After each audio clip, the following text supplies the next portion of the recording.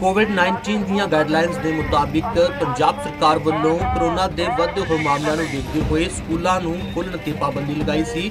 ਲੇਕਿਨ ਹੁਣ 6ਵੀਂ ਜਮਾਤ ਤੋਂ 12ਵੀਂ ਜਮਾਤ ਦੇ ਬੱਚਿਆਂ ਦੇ ਸਕੂਲ ਖੋਲ੍ਹ ਦਿੱਤੇ ਗਏ ਨੇ ਤੇ ਇਹ ਬੱਚੇ ਹੁਣ ਸਕੂਲਾਂ ਵਿੱਚ ਜਾ ਕੇ ਪੜ੍ਹਾਈ ਕਰ ਸਕਣਗੇ।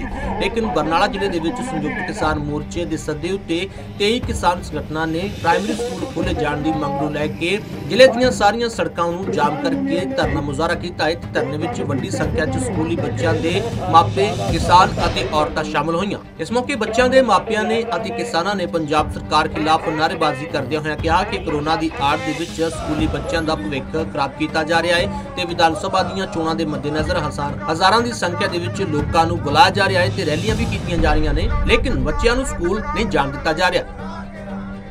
ਇਹ ਸੰਯੁਕਤ ਕਿਸਾਨ ਮੋਰਚੇ ਦੀ ਕਾਲ ਸੀ ਅੱਜ 2 ਘੰਟੇ ਦੇ ਬੰਦ ਦੀ। ਇਹ ਅਸੀਂ ਧਰਨਾ ਸਾਡੇ ਬੀਕੇਯੂ ਡਕਾਉਂਦਾ, ਇੱਥੇ ਬੀਕੇਯੂ ਕਰਦੇ ਹਾਂ ਸੰਯੁਕਤ ਕਿਸਾਨ ਮੋਰਚੇ ਦੀਆਂ ਜਥੇਬੰਦੀਆਂ ਵੱਲੋਂ ਸਾਂਝੇ ਤੌਰ ਤੇ ਚੀਮਾ ਜੋ ਹਾਈਵੇ ਆ ਨੈਸ਼ਨਲ ਹਾਈਵੇ ਆ, ਚੀਮਾ ਜੋਧਪੁਰ ਦੇ ਅੱਡੇ ਦੇ ਉੱਪਰ ਜੋ ਚੀਮਾ ਸਕੂਲ ਦੇ ਸਾਹਮਣੇ ਧਰਨਾ ਸਕੂਲ ਖਲਵਾਉਣ ਦੇ ਲਈ ਲਾਇਆ ਮੰਗ ਸਰਕਾਰ ਨੇ ਕੱਲ ਨੋਟੀਫਿਕੇਸ਼ਨ ਜਾਰੀ ਕੀਤਾ ਵੀ ਸੇਮੀ ਕਲਾਸ ਤੋਂ ਉੱਪਰ ਦੇ ਲੈ ਕੇ ਸਾਰੇ ਸਕੂਲ ਜਾਂ ਯੂਨੀਵਰਸਿਟੀਆਂ ਖੋਲ੍ਹੀਆਂ ਜਾਣਗੀਆਂ, ਪਰ ਇਹਦੇ ਵਿੱਚ ਪ੍ਰਾਇਮਰੀ ਦੇ ਬੱਚਿਆਂ ਨੂੰ ਛੱਡ ਦਿੱਤਾ। ਸਾਡੀ ਮੰਗ ਹੁਣ ਇਹ ਹੈ ਵੀ ਨਰਸਰੀ ਕਲਾਸ ਤੋਂ ਲੈ ਕੇ ਉੱਪਰ ਤੱਕ ਦੀਆਂ ਸੰਸਥਾਵਾਂ ਖੋਲ੍ਹੀਆਂ ਜਾਣ ਜੋ ਉਹਦਾ ਕਾਰਨ ਆ ਮੇਨ ਸਾਡੀ ਮੰਗ ਦਾ ਉਹ ਇਹ ਆ ਵੀ ਜਦੋਂ ਚੋਣਾਂ ਦੇ ਵਿੱਚ ਲੀਡਰਾਂ ਨੂੰ ਰੈਲੀਆਂ ਕਰਨ ਦੀ ਇਜਾਜ਼ਤ ਆ, ਵੱਡੇ ਇਕੱਠ ਕਰਨ ਦੀ ਇਜਾਜ਼ਤ ਆ ਮੈਰਿਜ ਪੈਲਸ ਖੁੱਲੇ ਨੇ ਜਿਮ ਖੁੱਲੇ ਨੇ ਸਪਾ ਖੁੱਲੇ ਨੇ, ਠੇਕੇ ਖੁੱਲੇ ਨੇ, ਤਾਂ ਫਿਰ ਸਕੂਲਾਂ ਬਾਰੇ ਇਹ ਕਾਹਤੋਂ ਕੀਤਾ ਜਾਂਦਾ, ਸਕੂਲ ਕਿਉਂ ਬੰਦ ਕੀਤੇ ਜਾਂਦੇ? ਅਸੀਂ ਸਕੂਲ ਖਲਵਾਉਣ ਦੇ ਲਈ ਇਹ ਧਰਨਾ ਅੱਜ ਕਰ ਰਹੇ ਹਾਂ। ਉਤੇ ਹੀ ਇਸ ਮਾਮਲੇ ਤੇ ਧਰਨੇ ਵਿੱਚ ਸ਼ਾਮਲ ਬੱਚਿਆਂ ਦੇ ਮਾਪਿਆਂ ਨੇ ਕਿਹਾ ਕਿ ਕਰੋਨਾ ਮਹਾਮਾਰੀ ਦੀ ਆੜ ਦੇ ਵਿੱਚ 2 ਸਾਲ ਤੋਂ ਬੱਚਿਆਂ ਦੇ ਸਕੂਲ ਬੰਦ ਪਏ ਨੇ ਅਤੇ ਬੱਚਿਆਂ ਨੂੰ ਘਰਾਂ ਵਿੱਚ ਰਹਿ ਕੇ ਹੀ ਆਨਲਾਈਨ ਪੜ੍ਹਾਈ ਕਰਵਾਈ ਜਾ ਰਹੀ ਹੈ, ਲੇਕਿਨ ਆਨਲਾਈਨ ਪੜ੍ਹਾਈ ਬੱਚੇ ਬਿਲਕੁਲ ਵੀ ਨਹੀਂ ਕਰ ਰਹੇ ਕਿਉਂਕਿ ਘਰ ਦੇ ਵਿੱਚ 4-4 ਬੱਚੇ ਨੇ ਤੇ ਉਹਨਾਂ ਕੋਲ ਸਿਰਫ ਇੱਕ ਜਾਂ ਦੋ ਮੋਬਾਈਲ ਫੋਨ ਨੇ, ਜਿਸ ਕਾਰਨ ਬੱਚਿਆਂ ਦੀ ਪੜ੍ਹਾਈ ਦਾ ਕਾਫੀ ਨੁਕਸਾਨ ਹੋ ਰਿਹਾ ਹੈ। ਅਸੀਂ ਧਰਨਾ ਲਾਇਆ, ਸਾਡੇ ਬੱਚਿਆਂ ਦੀ ਪੜ੍ਹਾਈ ਜਮਾ ਖਰਾਬ ਹੋ ਰਹੀ ਹੈ।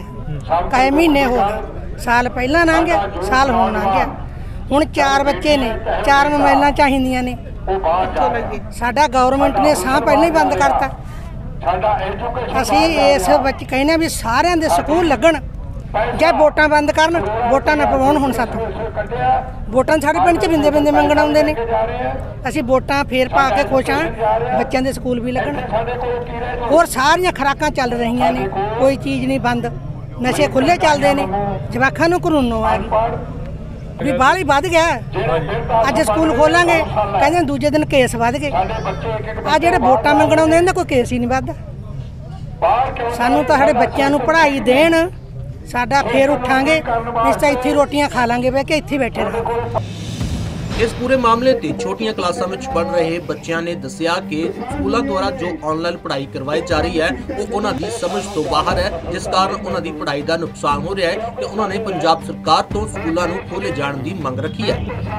ਕਿ ਮੋਬਾਈਲਾਂ ਤੇ ਰੇਂਜ ਸਰਕਾਰ ਫੋਨਾਂ ਤੇ ਆਨਲਾਈਨ ਕਲਾਸਾਂ ਲਾਉਂਦੀ ਹੈ। ਰੇਂਜ ਆਉਂਦੀ ਨਹੀਂ ਅਸੀਂ ਤਿੰਨ ਤਿੰਨ ਭੈਣ ਭਰਾ ਗੇ ਇੱਕ ਫੋਨ ਆਗਾ ਭਾਈ ਹੁੰਦੀ ਨਹੀਂ ਆਨਲਾਈਨ ਸਾਡੀ ਇਹ ਮੰਗ ਹੈ ਸਕੂਲ ਖੁੱਲਣ ਚਾਹੀਦੇ ਆ ਤੇ ਠੇਕੇ ਖੋਲ੍ਹ ਕੇ ਸਕੂਲ ਖੁੱਲਣ ਚਾਹੀਦੇ ਆ, ਰੈਲੀਆਂ ਤੇ ਤਾਂ ਕਰੋਨਾ ਨਹੀਂ ਹੁੰਦੀ।